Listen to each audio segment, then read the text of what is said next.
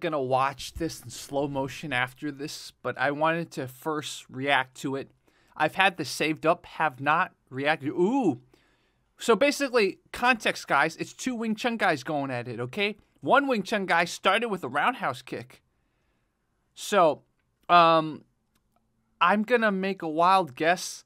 The guy who holds his hand like what you associate Wing Chun people, he's probably Ving Tsun, and the other guy's probably Weng Chun, as they say. So there's different branches of Wing Chun, and they're all called Wing Chun, but obviously they're spelled differently. Right? It's like the weirdest thing I learned about Wing Chun is that they spell the variations differently, and it shows their lineage. So, but in um, Mandarin, it's just Yongchun. Anyways, so two Wing Chun schools. I'm guessing the red pants guy is Weng Chun. Uh, but you guys let me know if I'm right about that. Okay, all right. Um, white pants had a bit of trapping range stuff. Now it's on the ground and it is stopped. So no Wing Chun ground fighting. I don't know why they wore headgear. If Wing Chun's all about those light peppering shots, then hey, whatever. I'm not complaining. I'm just glad we have examples of this. Oh, what happened here? His gloves came apart? Look at that. He's got that kind of knee slightly inward type of stance, right? That structure, that frame. Oh, that was a great little. Okay, we'll definitely watch that part in slow motion again. So,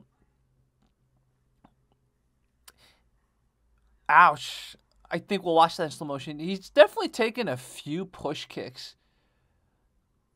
So, not surprisingly, the guy that looks more dynamic, more like an MMA fighter, is the one doing better, right? I'm not saying the guy who looks more like a standard Wing Chun person's not having his moments, but he just looks a little too stiff for this type of match, man. There it is. Okay, finally. Finally. Guys, who says chain punching doesn't work, man?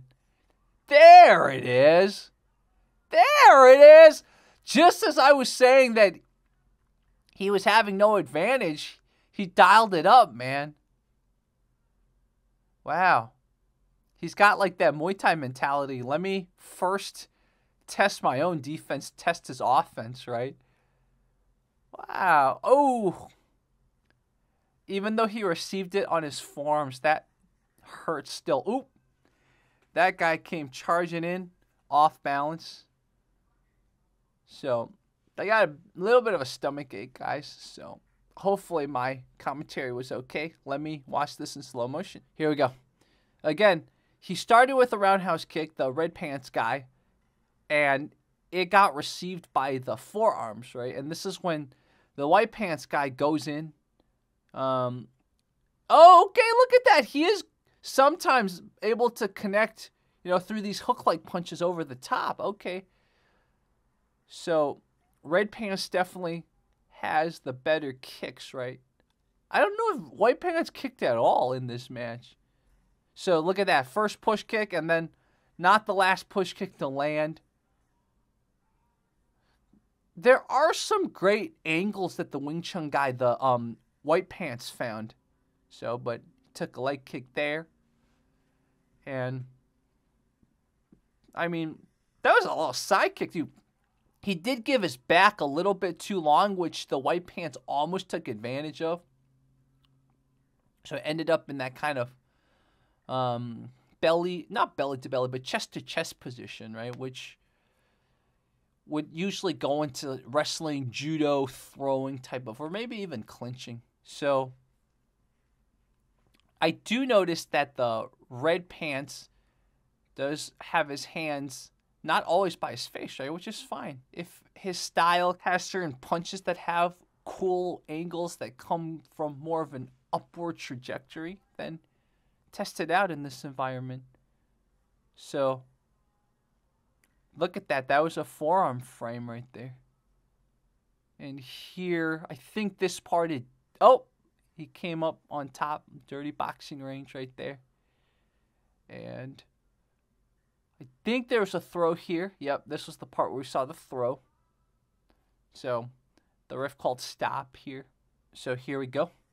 And he's look at that. He's trying to parry down the lead hand and then he followed up with a roundhouse kick from the other side.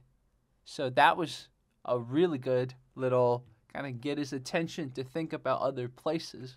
I want to get to the part where the other guy, the white, that was see that that was great. He kind of diverted his force. Because I was trying to say earlier, I want to see the part where the white pants finally dials it up, man. He really dials it up. If we were to judge it based on just now, I wouldn't have known that the white pants had like all this saved up in his gas tank.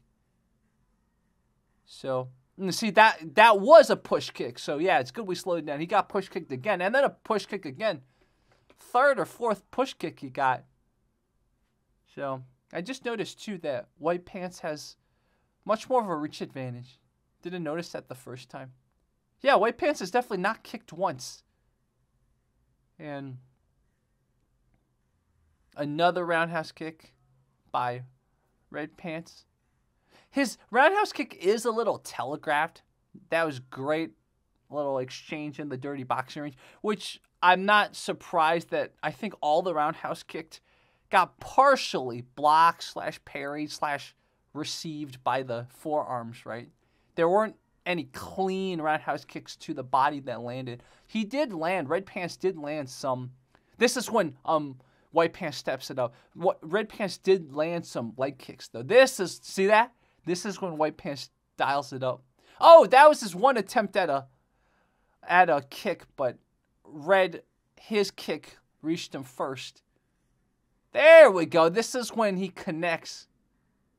Look at that. See, this shows, look at that. It's like the shortest distance, right? It's that Wing Chun punch, Wing Chun straight punch distance. So, gets a little wild, but hey, that was the White Pants' moment right there. So he really kind of did that, put his whole entire structure into a straight, quick punch, right? That was too telegraphed.